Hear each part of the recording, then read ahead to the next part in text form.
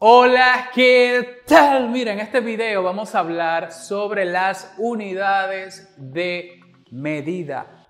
¿Cuántas personas tienen esta confusión? ¿Qué es una pulgada? ¿Qué es un centímetro? ¿Qué es un milímetro? ¿Con qué se come eso? ¿Y de qué manera nosotros podemos entender cada una de estas unidades de medidas en el mundo del craft, en el mundo de la personalización, del estampado, etcétera? Entonces, vamos allá. Mira, aquí tengo una cinta métrica, ¿ok? Recuerda, la cinta métrica tiene estos dos lados. Entonces, de un lado tenemos estos números que representan las pulgadas. Una pulgada, una pulgada y media, dos pulgadas, dos pulgadas y media, tres pulgadas, etc. Bien, ahora si nosotros eh, volteamos la cinta métrica, vamos a ver que del otro lado lo que tenemos son centímetros. Un centímetro, dos centímetros, tres, cuatro, cinco centímetros, seis centímetros. Ahora, si te fijas, Dentro de cada centímetro tenemos unas líneas. Si las ves, cada una de estas líneas que están dentro de cada centímetro representan milímetros. ¿Ok? Ahora, déjame explicarte esto un poquito a modo macro en una impresión que hice para ti, eh, porque aquí en la cinta métrica sé que se ve un poco pequeño. Entonces, mira, vamos a la mesa. Aquí tenemos, por ejemplo, las pulgadas, ¿ok? Aquí tenemos las pulgadas, perfecto. Fíjate que aquí estamos en 0 pulgada, 1 pulgada, esto sería media pulgada, 0.5. Aquí tenemos una pulgada y media y aquí tenemos 2 pulgadas. Perfecto. Ahora, fíjate que aquí debajo están los centímetros. 0 centímetro, medio centímetro, ¿ok? 1 centímetro, 1 centímetro y medio, 2 centímetros, 2 centímetros y medio, Aquí tenemos 3 centímetros, 3 centímetros y medio, 4 centímetros, 4.5 y aquí tenemos 5 centímetros. Perfecto. Ahora, como yo te comentaba, dentro de cada centímetro están estos números que estamos acá viendo acá. Bien, esto representa los milímetros y tú lo evalúas de la siguiente manera. Vamos a calcular cada vacío que hay eh, entre línea y línea. Entonces aquí tenemos en milímetros, ahora estamos, ¿eh? Estamos 1, 2, 3, 4, 5, 6, 7, 8, 9 y 10. Hasta el momento podemos concluir, míralo aquí como ya te lo está diciendo, que una pulgada, ¿ok? Equivale a 2.5 eh, centímetros. En realidad esto da 2.54, pero vamos a redondearlo a 2.5, perfecto. Y también podríamos decir que un cm, que significa centímetro, es igual a 10 mm, que significa milímetros. Eso es lo que tenemos hasta el momento. Bien, en el mundo de la personalización, del estampado, del craft, todo tiene que ver o con pulgadas, o con milímetros, o con metros, o con pie, que esas dos unidades de medida las vamos a explicar en otros videos, o con centímetros. Bien, vamos a enfocarnos en este video en pulgadas, centímetros y milímetros. Fíjate, los tapetes de corte este es el tapete de corte de Cricut. Si tú te fijas, aquí ya te está presentando números. Estos números son pulgadas. Una pulgada, una pulgada y media, dos pulgadas, tres pulgadas, etc. Si yo volteo el tapete y lo pongo con esta flechita hacia abajo, entonces nosotros vamos a ver que los números que me está presentando aquí ahora son centímetros. Aquí tenemos un centímetro, dos centímetros, tres centímetros, cuatro centímetros, etc. Y recuerden que entre centímetro y centímetro tenemos 10 milímetros. Bien, el tapete de cameo también viene eh, en pulgadas. Este no trae centímetros, pero sí tiene pulgadas. Mira, una pulgada, dos pulgadas, tres pulgadas, etc. Tanto de forma horizontal como vertical viene con las numeraciones. Los programas eh, de Cricut Design Space y el Silhouette Studio eh, también tienen sus unidades de medida. Por ejemplo, si yo aquí en el espacio de diseño de Cricut voy a estas tres líneas que están en la parte superior izquierda eh, y le doy a configuración, ustedes van a ver que aquí dice unidades. Si yo estoy trabajando en imperial, estoy trabajando en pulgadas y si estoy trabajando en métrico, estoy trabajando en centímetros. Eh, aquí aprovecho la oportunidad para decirte que siempre que tú veas un video tutorial mío, en el 100% de los casos estoy trabajando en pulgadas. Yo me siento muy cómodo trabajando en esa unidad de medida. Ahora bien, yo reconozco que hay personas que se sienten más cómodos o cómodas trabajando en, centímetros o en milímetros. Por ejemplo, yo trabajo en pulgadas. Para que tengas ese detalle en cuenta siempre que veas un video tutorial mío. Eh, en el caso de Silhouette Studio también tenemos unidades de medida. Por ejemplo, si venimos a la parte inferior derecha, a donde está este simbolito de aquí, eh, vamos a presionar acá y fíjate donde dice unidad de medida, igual, siempre trabajo en pulgadas, pero tú puedes trabajar aquí en pies, en metros, en centímetros, en milímetros, etcétera, para que tengas ese detalle en cuenta. Bien, ahora bien, mira qué interesante, déjame mostrarte por qué es importante que tú conozcas, que domines eh, las unidades de medida. Mira, si yo por ejemplo voy a Amazon y coloco acrílico redondo, por ejemplo, para llaveros, bien, eh, estas piezas de acrílico nosotros las solemos utilizar para realizar llaveros. Mira, un llavero con acrílico. Mira, otro llavero con acrílico acá, ¿ves? Son llaveros personalizados con vinil adhesivo sobre un acrílico redondo. Bien, entonces, mira otro acá, por cierto. Mira otro acá. Entonces, son llaveros personalizados con vinil adhesivo. Bien, súper. Si tú quieres personalizar con vinil adhesivo un llavero y tú vas a comprar estos acrílicos en Amazon, por ejemplo, o en cualquier lugar, puede ser una empresa local, eh, tú necesitas saber cuáles son las dimensiones de ese eh, acrílico, de esa pieza. Y Amazon ya te lo está diciendo, aquí el vendedor te lo dice. Por ejemplo, aquí te dice que esta pieza tiene un diámetro de 6.5 centímetros ¿ok? Y fíjate que aquí te está diciendo que tiene un grosor, un grosor de 0.24 centímetros y te está diciendo que el hueco, ¿ok? El hueco eh, acá tiene 0.32 centímetros. Hay algunos vendedores que te presentan las unidades en centímetros, otros te lo van a presentar en milímetros o en pulgadas. Por ejemplo, este otro vendedor, fíjate que está eh, presentando en milímetro y en pulgada. Por ejemplo, el llavero tiene 2.5 eh, milímetros, milímetros de grosor, bien, 2.5 milímetros de grosor y tiene un diámetro de 5 eh, centímetros, 5 centímetros o 2 pulgadas. Aquí ya te lo está eh, básicamente diciendo. Entonces, vamos a agarrar un llavero de esto, bien, vamos a agarrar también la cinta métrica, que la tengo por acá, y vamos a venir a las pulgadas y fíjate cómo este llavero tiene 2. podría decirse 2.5. Este llavero no, este, este acrílico, ¿ok? ¿Ok? Esta pieza de acrílico con la cual yo puedo eh, personalizar un llavero tiene 2.5, tiene un diámetro de 2.5, ¿ok? Pulgadas, pulgadas.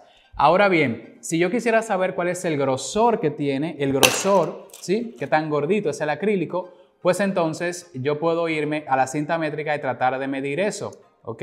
Con la cinta métrica, ya sea en pulgadas o en milímetros o en centímetros. El problema es que hay personas que yo entiendo que tienen un tema con la vista, que los milímetros en la cinta métrica no lo van a ver muy bien, etc. Y para ese tipo de personas yo les recomiendo un eh, pie de rey. Un pie de rey es una herramienta que te permite saber cuál es la profundidad o cuál es el tamaño de algo, tanto en pulgadas como en milímetros. Y te lo muestro, vamos allá. Por ejemplo, vamos a encenderlo. Yo lo puedo colocar en milímetros, fíjate aquí donde dice mm, o lo puedo colocar en in, o sea, inches, que significa eh, pulgadas. Vamos a colocarlo en mm, perfecto. Y si yo quisiera saber cuál es el grosor, simplemente tengo que colocar el acrílico dentro y aquí ya me está diciendo que este acrílico tiene 2.9 milímetros de grosor, ¿ok? De grosor. Si quisiera saber el diámetro, también lo puedo saber con el eh, pie de rey. Fíjate que tiene 61 milímetros eh, de diámetro. Si quisiera ver esas medidas en pulgada, pues tenemos 2.4 pulgadas de diámetro. Ok, si quisiera ver el grosor en pulgadas, también lo puedo hacer. Ahí tenemos 0.1 pulgadas. Bien, ahora también, eh, por ejemplo, cuando nosotros estamos trabajando personalizando Pringle, nosotros necesitamos comprar este acrílico, ¿ok? Redondo, que es lo que nosotros solemos colocar como copo en los Pringles. Ahora, ¿Qué tamaño tiene que tener esto? Porque fíjate que te van a llegar copos de diferentes dimensiones. Mira que estos tienen distintos tamaños, ¿ok? Este es más pequeñito, este es un poquito más grande. Ahora vamos a ver en milímetros, ¿ok? En milímetros, vamos a ver cuál es el diámetro que tiene este. Bien, vamos a ver. Por ejemplo, este tiene un diámetro de 70.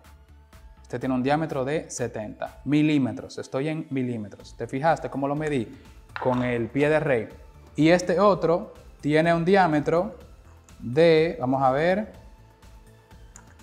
vamos a ver, este otro tiene un diámetro de 80. Este otro tiene un diámetro de 80. Entonces, siempre que nosotros vamos a personalizar una Pringle, nosotros buscamos que este, eh, que este acrílico tenga un, un diámetro de 80 milímetros. Y si nosotros vamos, por ejemplo, a Amazon, nosotros vamos a ver que eso es así. Por ejemplo, mírenlo aquí, el acrílico donde está, y mira aquí donde el vendedor ya te está, ya te está diciendo que esto tiene 80 milímetros. Ahora, al principio del video yo te comentaba que un centímetro es igual a 10 milímetros. Si yo te estoy diciendo que ese acrílico redondo que utilizamos de copo para personalizar el Pringle tiene que tener 80, así, de diámetro 80 mm, pues entonces eso sería lo mismo que decir 8 cm, ¿sí o no? 8 centímetros. Y eso podemos hacerlo con la cinta métrica también. Fíjate que si yo agarro aquí el copo, abrimos, de este lado recuerden que están las pulgadas y del otro lado tenemos los centímetros. Entonces vamos a colocar aquí en 0, genial, y si vamos hacia el otro lado va a concluir en 8. Entonces ahí tenemos los 8 centímetros o los 80 milímetros que nosotros necesitamos para poder personalizar una Pringle. Utilizar este acrílico como copo. Bien, pero vamos a seguir, vamos a seguir viendo, vamos a seguir viendo de qué manera podemos ir entendiendo en este mundo de la personalización cómo funciona el tema de las medidas. Por ejemplo, aquí tengo una plancha térmica en Amazon. Yo siempre recomiendo a las personas que como mínimo compren una plancha térmica que tenga unas dimensiones de 15 por 15 pulgadas, ¿ok? Fíjate, esta plancha térmica que está vendiendo esta persona acá tiene 9 por 12. Yo considero que esa plancha está un poquito pequeña, te va a limitar mucho en cuanto al tamaño del producto que tú puedes personalizar, etc. Entonces, 9 por 12 es un tamaño un poquito pequeño para una plancha térmica. Entonces, yo recomiendo que tenga 15 por 15 pulgadas como mínimo. Vamos a ver aquella plancha que yo tengo allá, qué dimensiones tiene. Vamos a ver. Miren acá, vamos a medir, estoy midiendo en pulgadas, recuerden pulgadas y centímetros, estoy midiendo en pulgadas. En pulgadas, esta plancha tiene una profundidad de 15, si lo ves, tiene 15 ahí, perfecto, y de ancho también tiene 15. Es una plancha 15 por 15 pulgadas, que es el mínimo, es el tamaño mínimo que yo te recomiendo comprar. Y por supuesto, en Amazon aparecen un montón de planchas que son 15 por 15 pulgadas. Yo te voy a dejar algunas recomendaciones, mira aquí, 15 por 15 pulgadas. Te voy a dejar algunas recomendaciones ahí debajo en la descripción de este video.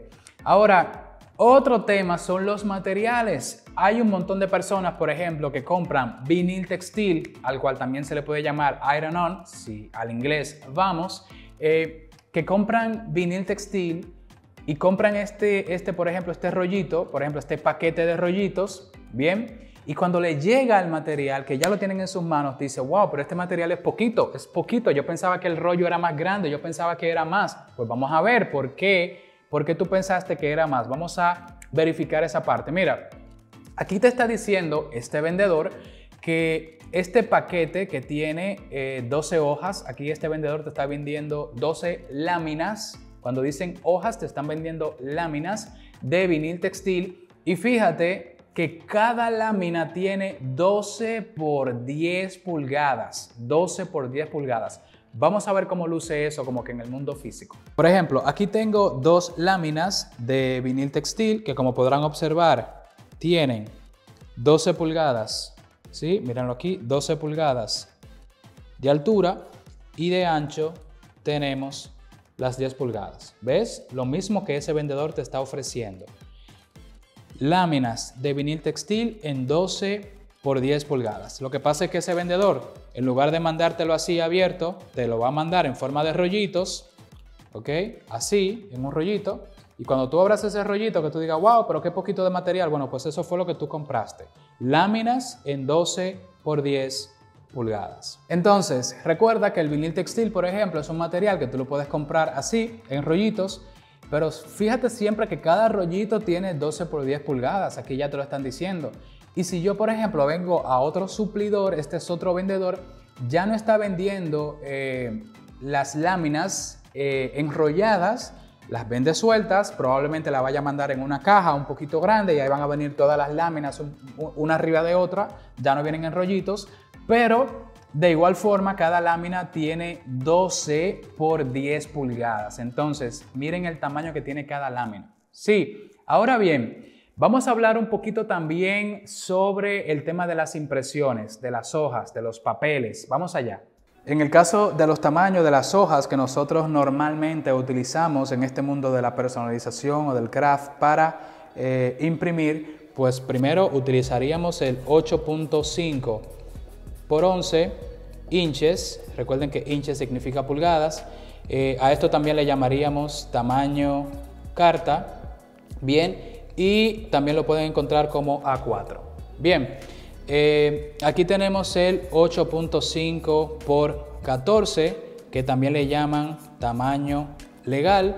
Y aquí tenemos el 11 por 17 inches, aquí es 8.5 por 14 inches también pulgadas. Y aquí 11, eh, bueno, 11 por 17 inches pulgadas. Eh, que lo van a encontrar como A3 para que tengan ese detalle en cuenta. Entonces aquí le expliqué en pulgadas algunos de los tamaños que normalmente nosotros utilizamos para imprimir, ya sea cartulinas para la papelería creativa o eh, para la sublimación, por ejemplo. Por ejemplo, en lo que respecta a la sublimación, yo suelo utilizar mucho este material, estas hojas de sublimación eh, de la marca Texprint eh, mira aquí como he colocado en Amazon Text Print, perfecto. Y si yo, por ejemplo, entro a este paquete, voy a entrar a este también. Fíjate que el primero que abrí son hojas 8 y media por 11. Trae 110 hojas de 8 y media por 11 pulgadas o tamaño carta como acordamos ya anteriormente. Eh, en esta segunda opción tenemos igual 110 hojas, pero ya estas son 8 y media por 14 pulgadas, o sea, tamaño legal como acordamos anteriormente. Y también si yo pongo aquí 11 eh, por 17. Vamos a ver si me aparecen. Eh, bueno, miren esta, miren esta. Esta es 4.3 por 6 pulgadas, o sea, es una hoja chiquitica, es un pedacito de hoja chiquitito. Tienen que tener mucho cuidado con eso.